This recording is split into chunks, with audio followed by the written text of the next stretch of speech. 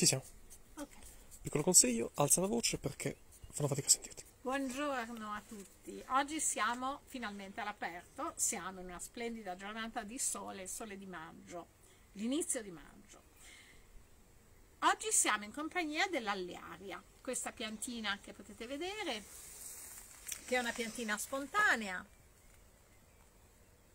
viene come qui in un giardino un po' selvatico oppure può venire ai margini di un bosco, nella campagna, ai lati dei, dei campi, ai lati eh, dei, dei sentieri.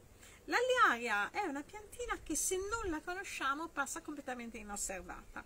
Eh, bene, le proprietà che questa piantina può ha e può portare nella nostra vita sono davvero tante, non vi faccio l'elenco, ma è normale che le piante spontanee abbiano dei valori nutriceutici anche maggiori rispetto a molti prodotti dietetici che vengono venduti nei, nei negozi o, o soprattutto nei siti anti-invecchiamento. Quante volte mi chiedete come si fa ad invecchiare con garbo, con calma? Si fa anche in questo modo, si vive in un certo modo, si sorride molto, si costruiscono sogni, si costruiscono progetti e ci si nutre di piante naturali, spontanee e non inquinate e, e qualche altra cosa di cui ne parliamo un'altra volta, ma uno dei modi per mantenersi assolutamente giovani è mangiare i fiori. Questo da, da ricerche che, di cui poi un giorno vi parlerò.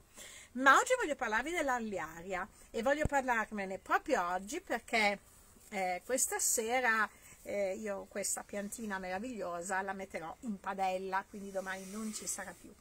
E, e ce l'avevo così vicina, così comoda a casa e volevo proprio condividerla con voi. A parte la bellezza, non so se vedete queste foglie che sembrano ricami, questi fiorellini che sono, eh, come dire, un po' invisibili, un po' timidi, ma ogni ogni fiorino ha quattro petali, sono davvero molto, eh, come dire, molto pieni di vita, è una parola sola, molto pieni di vita. Eh, questa piantina la possiamo mangiare cruda, la possiamo mangiare cotta, eh, ce ne possiamo nutrire e possiamo anche preparare dei sughi, delle salse che mettendo via le possiamo avere per tutto l'anno, per tutto l'inverno, dipende quanta ne troviamo. Ora, ma volevo proprio parlarvi di lei. Eh, vediamo questo caspo che tra l'altro è molto tollerante, vedete che è vicino delle ortiche, vicino al tarassaco, eh, c'è per esempio della celidonia, il motivo per cui sto un po' a distanza sono queste ortiche davvero eh, piene di vitalità, addirittura vicino c'è un sorgo, quello di cui vi ho già parlato, è un'ottima verdura, eh, ma c'è una fiaba che mi hanno raccontato esattamente a Montovolo, la vecchia signora di nome Maria che mi ha insegnato quasi tutto quello che so sulle piante. Eh, bene, sull'alliaria c'è una leggenda, un mito davvero particolare. Innanzitutto si chiama alliaria perché il suo sapore, una volta tritato, le foglie, i fiori, sanno vagamente d'aglio un pochino più morbido, diciamo, rispetto al sapore intenso dell'aglio. Dell'aglio penso che ormai tutti sapete che oltre ad essere eh, quella, quel, quel bulbo così interessante per la nostra salute e anche per i nostri orti perché tiene lontani molto, molti animali, molti insetti eh, che andrebbero a molti parassiti che andrebbero a minare le nostre insalate, l'aglio tra le altre cose fa anche un fiore estremamente bello e sofisticato.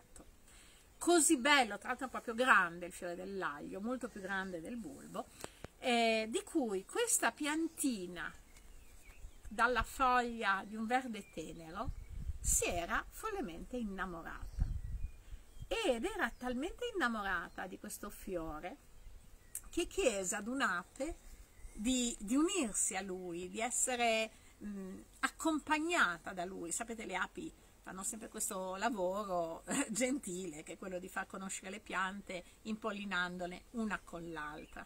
Allora la fiaba narra che l'aglio si sentì davvero anche lui grato di questo amore mm, improvviso, di cui non sapeva nulla, lui non l'aveva notata la piccola piantina dell'alliaria, che mandò con tutto il suo amore il suo polline a questa piccola pianta, che non diventò un aglio, ma ne prese da allora vagamente il sapore a ricordo di un amore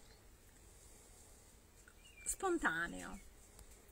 E tutte le volte che taglio l'alliaria mi viene in mente questa fiaba e penso, va bene, non hai prodotto dei semi di aglio, pazienza perché tu non sei un aglio, però i tuoi fiorellini bianchi me lo ricordano ogni volta che li metto in mezzo all'insalata, nelle frittate, nei risotti, vagamente sapore d'aglio, come un amore a distanza. E con questo ehm, è inutile, vi potrei dare elenchi di ricette, ma penso che le troviate dove volete.